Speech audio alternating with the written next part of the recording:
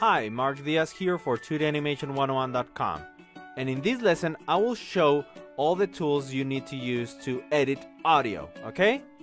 The first thing we need to learn is a little bit about all those tools up here, the tools inside Audacity. Okay, the first one is the cursor. I'm going to select it, ping, just click on it, and that allows me to move the cursor to anywhere I want. I can put it there and play. Okay. Right? Have you seen this man now? Okay? That's the cursor, the selection tool. I can, oh, of course, you can click and drag and select one clip or multiple clips across many tracks. Okay? And you can also use the envelope tool. Just click on it, and that allows you to add points and lower the volume, for example. I can click here, I add a point, and then I lower the volume here. And then because now these two points are very close together, I can continue modifying the audio on this bar, right? Like this to lower the volume. And now, now let me play it. I will choose the selection tool, go back here and play it. How about now? Have you seen this man now? You see, it lowered the volume. So I can go to this one and then edit. Oh, I want it a little bit lower, right?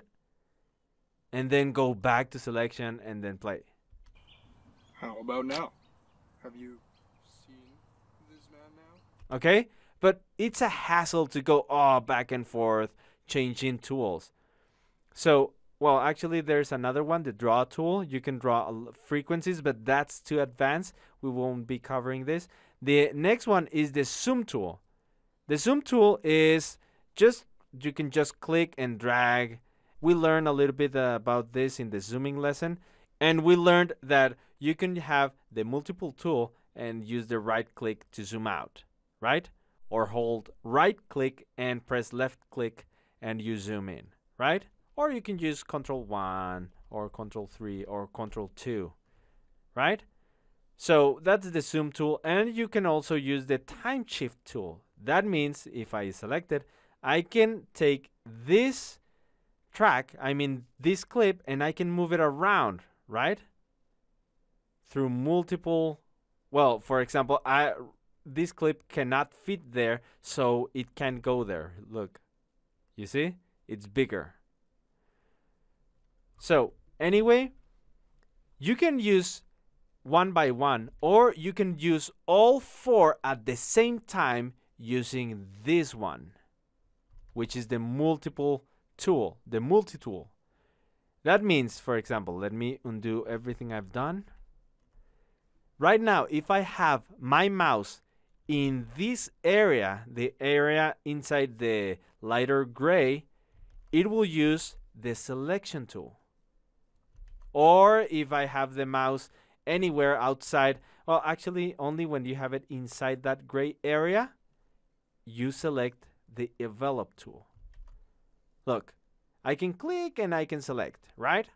But if I want to edit volume, I can just go to this area right here and I can start adding points, right?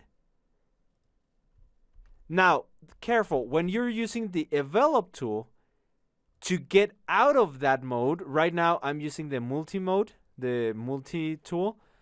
But if I want to get from the envelope mode, let, let me add a couple of points here. Whoops. And now I want to go out. I have the mouse in this area and it does, well, actually, let me add, it, add them again. In this area outside and I still have the envelope tool activated. To deactivate it, just click on the track. Book, and that deactivates it. And I can undo. That means that, for example, if I go, I do this, you know, oops, that was too much. That was a mistake. I press Control C and it won't work. Boom, it doesn't work. You have to first deactivate envelope by clicking on the track, tack, and then Control Z. There you go. Okay? Now, what if I want to edit this sound? What if I want to add more space between the words? Let me play this section. How about now? Have you seen this man now? What if I want these lines? He says, What about now? How about now? I mean, how about now? Have you seen this man now? What if I want these lines to be heard later and put them around here? So I can, how about now? Then leave some space. Have you seen this man now? Right?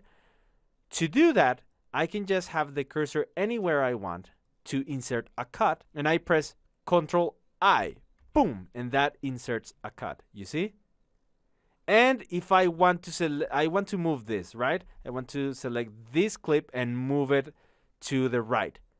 I can go and select the time shifter tool or with the multi tool, I can press control in my keyboard and just you see the cursor changes, I can move it around.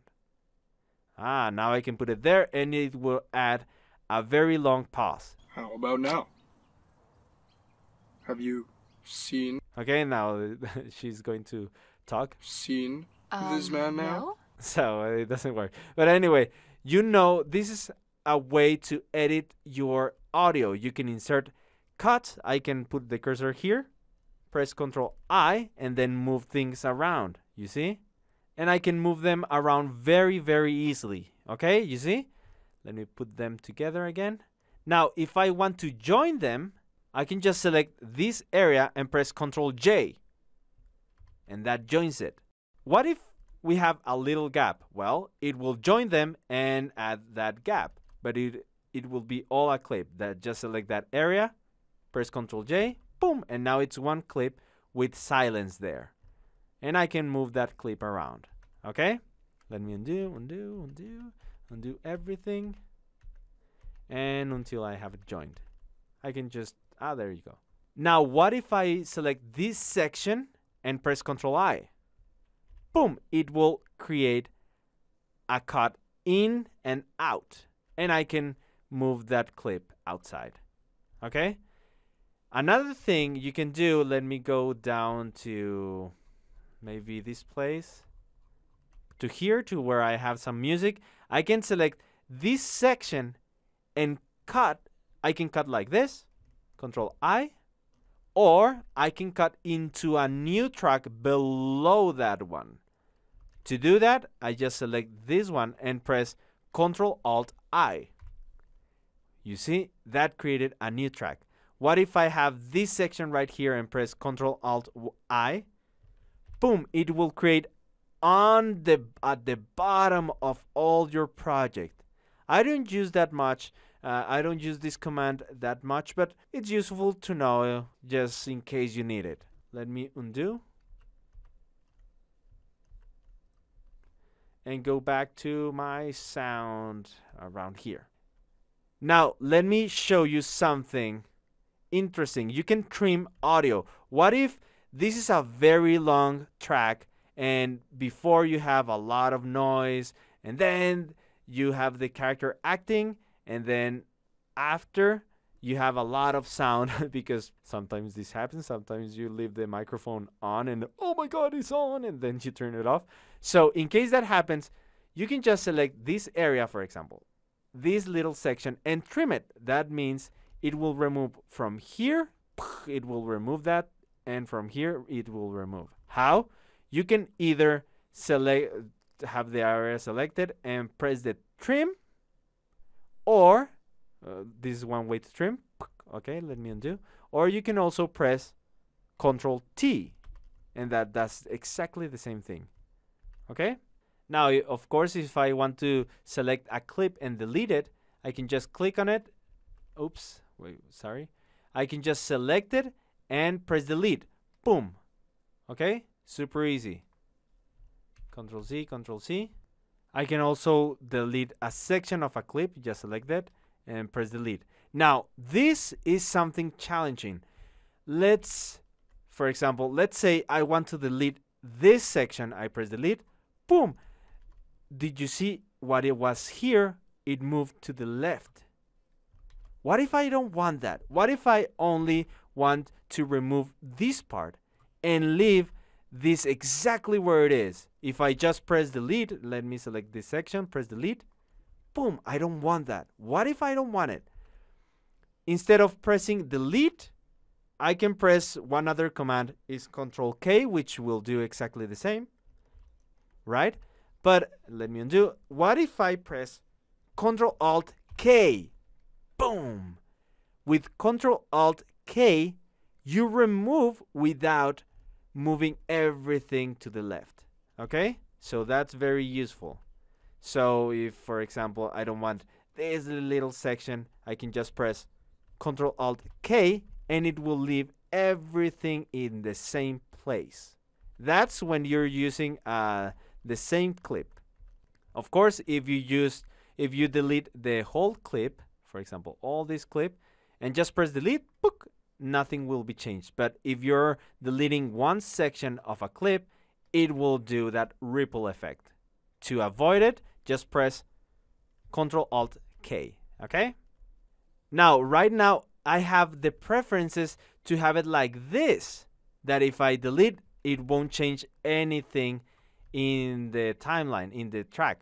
So, I think you probably have another behavior. You can go to uh, Edit, then Preferences, then go to Tracks, to the Tracks tab, and then I think uh, I don't remember. I I believe when you just install uh, Audacity, you have this box checked. Let me check it so I can explain. This is when you edit a clip, it will move other clips. Let me delete that. And if, for example, I delete this, that will move all the other clips to the left. Let me de uh, delete this part. Boom! It affects the whole track. So if I delete all this section, boom, it affects all tracks. I don't like that. Per personally, I prefer um, to only affect the clip I'm editing. And for that, you just go to Edit, go to Preferences, and select Editing a Clip. Uncheck this so editing a clip won't move other clips. Press OK. And now, edit deleting a clip doesn't affect anything else. Okay?